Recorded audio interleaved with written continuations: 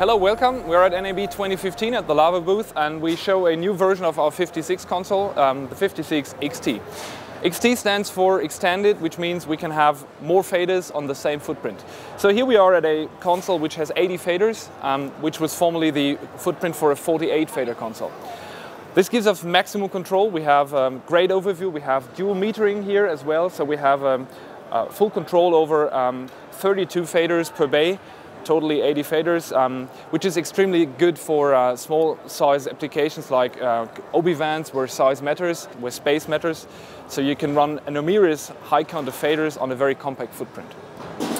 The desk comes with another couple of great features. So we implemented the um, the, the, functionality of the pop-up windows that we introduced with the 36. Uh, we have it now on the 56 XT as well. So full overview with the metering at all times and whenever you need to treat and to change some settings in audio, you just select the channel, uh, touch a rotary and instantly the corresponding pop-up window appears to give you full control of what you're doing.